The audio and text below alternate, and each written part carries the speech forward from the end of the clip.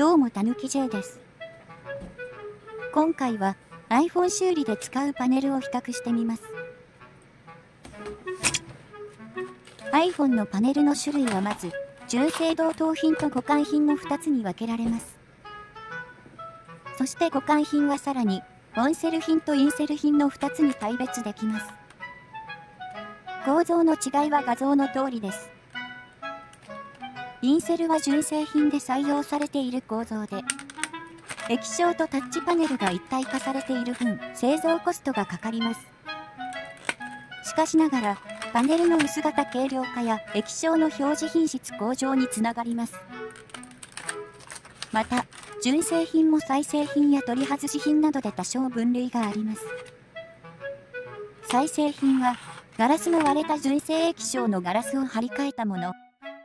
取り外し品は読んで字のごとく、新品端末から取り外した純正液晶です。基本的には、液晶とタッチパネルが純正品であれば純正同等品になります。一般的に修理で使われているのは再製品ですが、発売間もない端末は取り外し品が出回ります。今回は互換品からオンセル品とインセル品の2枚、純正同等品から再製品の1枚を用意しました。まずは外観から比較していきます。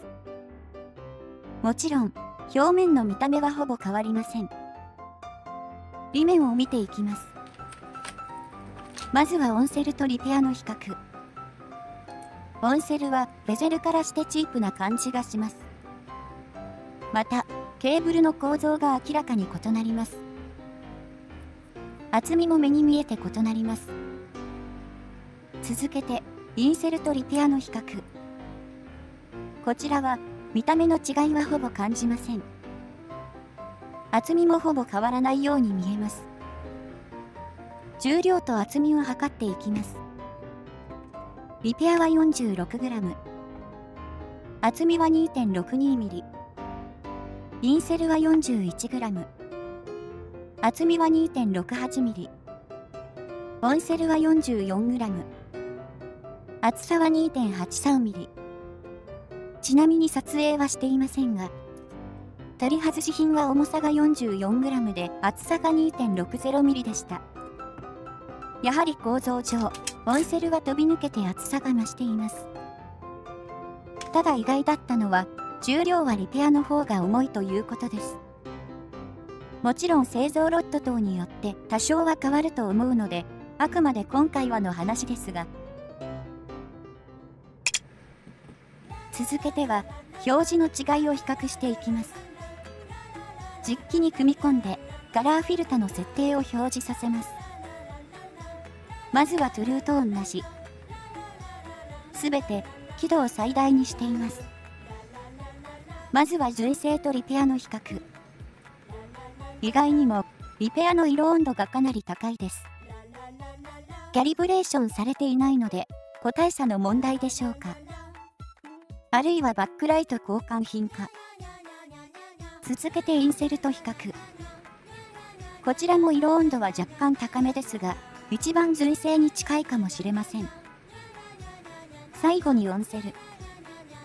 映像では分かりづらいですが、輝度が明らかに低いです。色温度も高く、くすんだ発色です。続けて、パネル本来の性能を発揮するためにトゥルートーンを移植します。専用の機器を使って元パネルから情報を移します。ただし、オンセル品はトゥルートーンが移植できません。移植後がこちら。環境光センサを覆って条件を揃えています。比較してみると、明らかに色温度が違います。再度リペアと純正を比較。多少マシにはなりましたが、やはりリペアの方がくすんで見えます。続けてインセル。やはり一番純正に近い色合いです。オンセルは論外ですね。こうして見ると、トゥルートーンの偉大さがわかります。ここまでご覧いただいたように、パネルによってかなりの品質のばらつきがありました。ここからさらに突き詰めると、タッチセンサの品質やガラスの品質、派手にはベゼルの接着強度の話になってくるので、iPhone のパネルも意外と奥が深かったりします。さすがにそこまで比較する記録はないので、今回はここまでで終わりです。個人的には修理で使うならインセルで十分だとは思うのですが、Amazon 等で買おうとすると、品質の説明がないのでなかなか難しいよなぁと思ってみたり。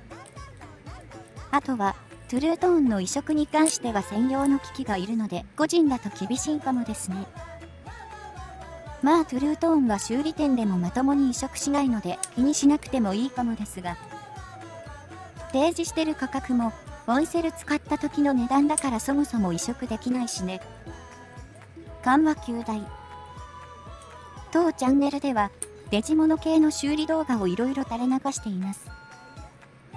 興味のある方は、ぜひチャンネル登録をば。それではまた次回の動画でお会いしましょう。